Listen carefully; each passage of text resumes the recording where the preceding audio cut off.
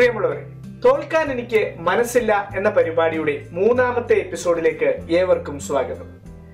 ഈ എപ്പിസോഡിൽ അവതരിപ്പിക്കപ്പെടുന്നത് വിധി തട്ടിയെടുത്ത കൈയുടെ പാതി അനന്തതയിലേക്ക് ഉയർത്തി അദൃശ്യമായ ആ ശക്തിയോട് ഇത് ആൾ വേറെയാണ് തോൽക്കാൻ എനിക്ക് മനസ്സില്ല എന്ന ചങ്കുറ്റത്തോടെ ചങ്കുറപ്പോടെ ചുറുചുറുപ്പോടെ പറഞ്ഞ ഒരു ബ്ലേഡ് റണ്ണറെയാണ്. അപൂർവമായ ഒരു അണുബാധയുടെ കരാള ഹസ്തങ്ങളിൽപ്പെട്ട് തന്റെ ഹസ്തവും നിലനിൽപ്പിനുതകുന്ന കാലുകളും നഷ്ടപ്പെട്ടിട്ടും നിശ്ചയദാർഢ്യം കൊണ്ട് തന്റെ ജീവിതത്തെ തിരിച്ചു പിടിച്ച ഒരു പെൺമനസ് അച്ഛനും അമ്മയും കൊല്ലത്തുകാരാണെങ്കിലും ജനിച്ചതും വളർന്നതുമെല്ലാം അങ്ങ് ബാംഗ്ലൂരിലാണ്. രണ്ടായിരത്തി പന്ത്രണ്ടിൽ ഭർത്താവിനുമൊത്ത് കംബോഡിയയിലേക്കുള്ള ഒരു യാത്ര കഴിഞ്ഞ് തിരിച്ചു വന്നപ്പോൾ റിക്കറ്റ്സിയ ബാക്ടീരിയ ബാധയ്ക്ക് ഇരയായി. ആരും തകരുന്ന ഒരു ദുർവിധി ശാലിനിയെ കരുത്തുറ്റവളാക്കി.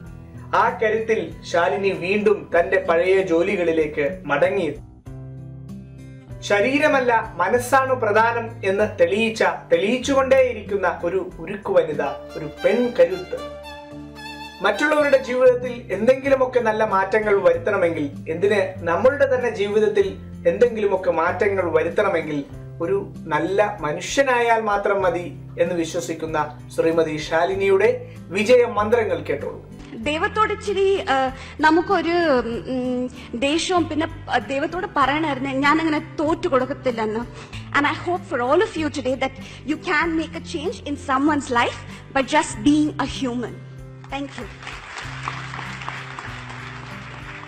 feel that this entire journey uh, makes you realize that what matters the most in this world it's not the gold it's not the diamonds it's not the wealth it's just love uh, it's absolute love that you can get from people around you uh, and all this love what it also does is give you a confidence sometimes to look up at the sky and point my non-existent finger and say that you chose to mess with the wrong woman you just chose to mess with the wrong person you focus on the things that you can do against the things that you cannot do Uh, there's no point in you just sitting and cribbing and crying and all of that. Uh, you want to move forward.